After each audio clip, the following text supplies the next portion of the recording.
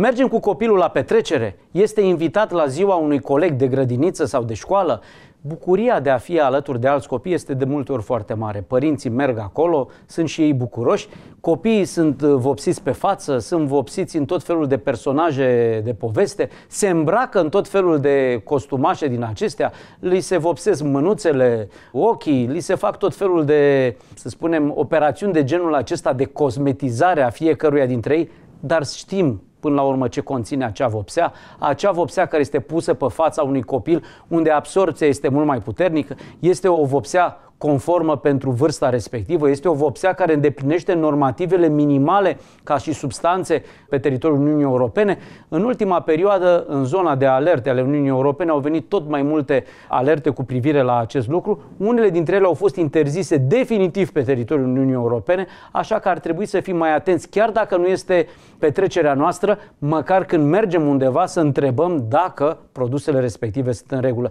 Iar cred că cel care organizează petrecerea respectivă pentru copii copii, face toate aceste evenimente pentru a fi bucurie pentru clasa respectivă, pentru prieteni, pentru familie, pentru colegi, ar trebui să fie mai atent și mai responsabil și când vine zâna zânelor și pictează copilul, să știm exact cu ceea ce este dat. Când li se dau cu tot felul de produse din acestea cosmetice pe buze, fetițelor pentru a avea buzele mai nu știu cum, ojă am văzut mai nou pentru copii de grădiniță, care nu este același lucru pentru o persoană adultă. Așa că ne uităm pe eticheta produselor, produsele trebuie să aibă neapărat eticheta în limba română, informațiile cu privire la produsele respective, semnul de certificare european acel CE pentru produsele cosmetice și nu în ultimul rând ar trebui să înțelegem și noi ce se întâmplă cu acele produse, fiindcă unele dintre astfel de produse cosmetice nepăstrate la o temperatură și un mod de depozitare corect s-ar putea să fie transformate în produse care să ne facă mai mult rău copiilor noștri. Din păcate, tot mai mulți copii în ultima perioadă au diferite alergii,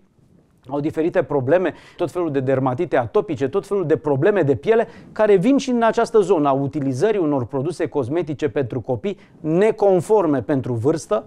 neconforme pe teritoriul Uniunii Europene, iar toate aceste produse le regăsim și în aplicația gratuită Infocons, în butonul de alerte, unde vedem că tot mai multe produse din zona aceasta se regăsesc în sistemele de alertă ale Uniunii Europene, delistate din spațiul uh, vestic al Uniunii Europene și ajung prin România, ajung prin zona aceasta de comerț online și ne bucurăm că le-am luat la un preț foarte bun, că până la urmă a văzut copilul că îi place, că a văzut copilul că vecinul sau colegul s-a dat pe față și s-a făcut într-un personaj de poveste. Să fim mai atenți, mai responsabili, să nu ne îmbolnăvim copiii singuri, să fim atenți în momentul în care cumpărăm un astfel de produs, certificatul de garanție, eticheta și nu în ultimul rând documentul fiscal de achiziție pentru a avea acel document de a face o sesizare, o reclamație și a recupera dauna materială și morală, dar să nu uităm, această daună de cele mai multe ori vine cu suferință, cu stat pe la medici, cu medicamente, așa că chiar dacă pare un lucru nesemnificativ, se poate transforma într-un lucru foarte grav.